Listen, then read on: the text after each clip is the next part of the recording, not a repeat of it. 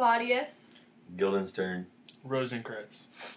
I don't like the way he's acting, and it's not safe for me to let his insanity get out of control.